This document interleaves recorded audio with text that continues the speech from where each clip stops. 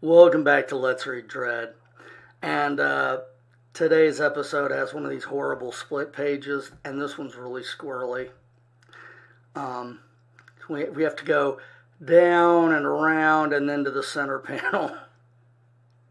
I, I looked because it was split pages, so I had to figure out what the hell was going on. All right, let's let's dive into the front page mess. Morning, Elvis. Open up your bonnet. I'm going to do a little work on you. Dave Patton loved his car. He had saved for 10 years to buy him, and he had chosen the personality himself. Sure thing, Dad. Hey, Dad, you don't have to do that. I've got my own repair kit. Like I said, I, I checked the other page.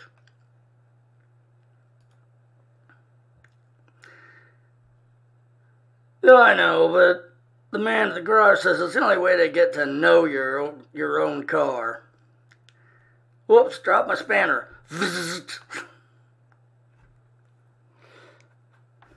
In the future, all cars are susceptible to bizarre electric spikes just by dropping a spanner on them. Anyway, um, sorry, Elvis, I hope that didn't hurt you. Yeah, or I hope I didn't hurt you. Yeah, you did, Dad. But what the heck? Jump in. I'm getting sick of sitting at this stupid curb. And then we see the, the main panel um, in the center, which, look out! The car, the killer car's on a rampage! And we can see his dad's under the hood there. Um, so who knows what the hell is going on.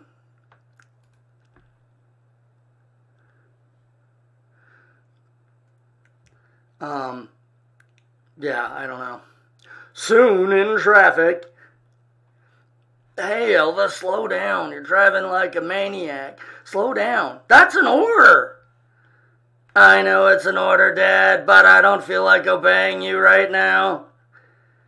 You must have damaged my responsibility circuits when you were messing around under my bonnet, so I'm gonna do what I want from now on. I'm going to give this slow coach a scrape. Okay, Elvis, I'll turn you off and I'll get you repaired.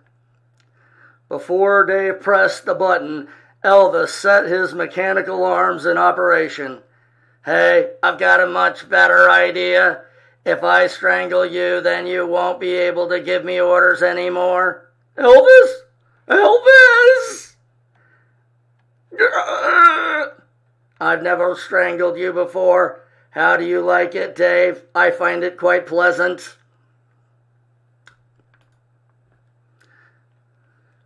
Elvis!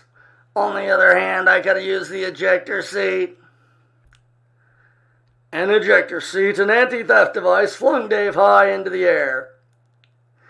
I've got you on visual. Here I come to finish the job. Right into the engine compartment, chomp. And then somehow he's off. Oh, he's pulling him out of the engine compartment, I guess. Please, no! I guess you've had it, Dad. I found that extremely enjoyable. What? Look! Ah! I'm going to do it. Lots and lots. Aye! The killer car's on rampage. Somebody get the law.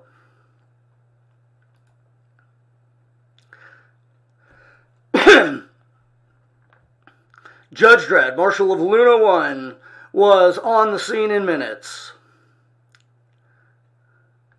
Don't be hard on Elvis, Judge Dredd. He's a little boy, really. You see, I chose his personality and myself.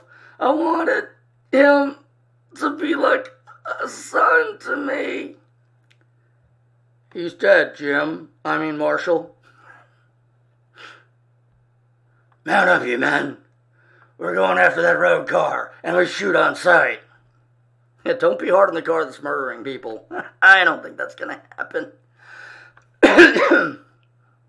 Up ahead, Elvis was cutting a swath of death through the Luna City streets. Sirens, Arg! Sirens behind me. Those rotten judges will stop me from having fun unless I find some place to hide. There he goes. He's heading for that parking tower. Stop! Stop! Okay, that's pretty nasty.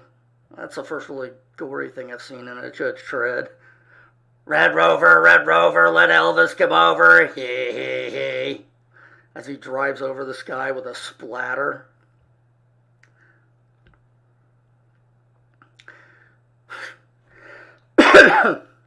oh, and we've got we've got the Mexican hat dude back now. Chi, Chi, Chico, cover the exit. We've got him trapped. Fucking hell. Or Che, maybe. I guess Che. Che, Chico, cover the exit. We've got him trapped. Those spoil sports, I will will find me for sure. I need some help. We'll take this place floor by floor. On foot so the car can run us over better. Oh, wait.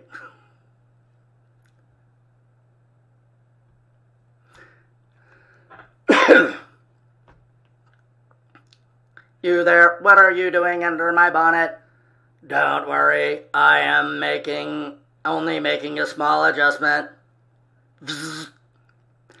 But one is not enough. I need more friends. Say, you cars, I'm sick of sitting here in this stupid parking tower. Let's go settle some judges. Yeah, that sounds like fun. It's time we showed those creeps where to get off.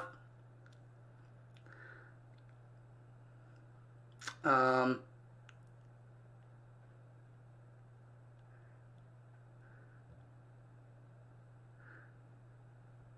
I got a, I've got a feeling the road car's on this floor.